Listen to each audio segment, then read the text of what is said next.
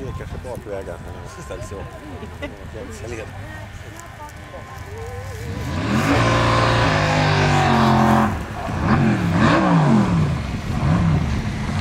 Ja, två bilar som måste flyttas och det är lite snabbt. OLT 875 och OLS 800.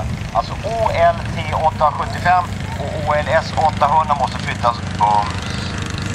Båten var åtta Kör vi Cruise och eh, vi har då Rickard Rosenholm framme. Tre startande i mål i klassen. Det här är kvalettan som körde en nära nog perfekt 7-6-8 igår. Och eh, med snyggt sån lagom en decimeter fram just nu. Hängde där i luften ungefär 100 meter ut.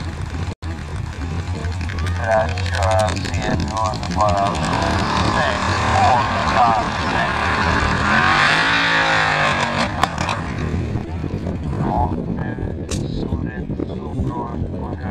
Högersidan här i avgasröret.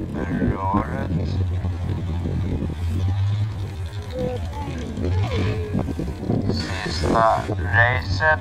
Eh, Rickard eh, slår givetvis av.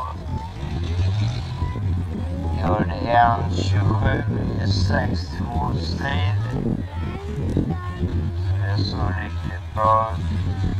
Ja, det behöver hjälp. Han behöver hjälp. Han behöver hjälp.